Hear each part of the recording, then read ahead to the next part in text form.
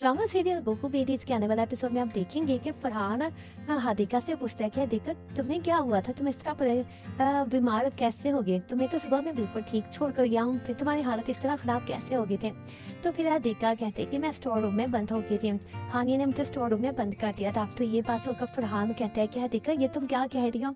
हानिया तुम्हें store room में बंद क्यों करेगी? तो फिर हादिका कहते कि, ये तो अब हानिया से पूछे ना। उसने मुझे स्टोर रूम में बंद क्यों किया था? मैंने अम्मी और हानिया से कहा था कि मुझे चिपलियों से बहुत ज़्यादा डर लगता है और मैं वहाँ पर नहीं जाना चाहती, लेकिन इन्होंने मेरी बात नहीं सुनी और मुझे स्टोर में बंद कर दिया था। तो फिर वहीं पर हानि की माँ जाती है और कहते कि, हदीका, और कितना तुम झूठ बोलोगी? कितना तुम झूठ बोलती हो? सुबह से तुम अपने कमरे से बाहर नहीं निकले और अब तुम कह रहे हो कि हमने तुम्हें स्टोर रूम में बंद कर दिया था।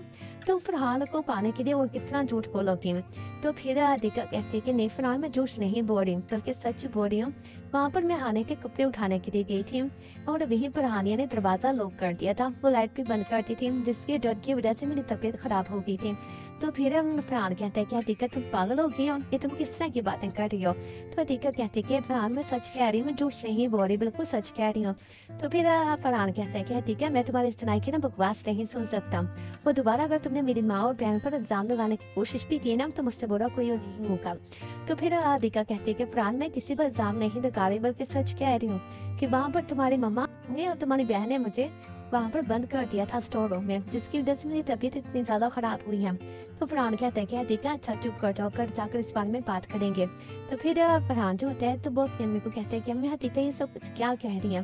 तो फिर इसकी अम्मी कहते हैं कि, फरहान, मैं तो खुद ही हैरान हूँ क्या दिक्कत ये सब कुछ कैसे कह सकती हैं? जबकि हमने उसको ऐसा, उसके साथ ऐसा कुछ किया ही नहीं है।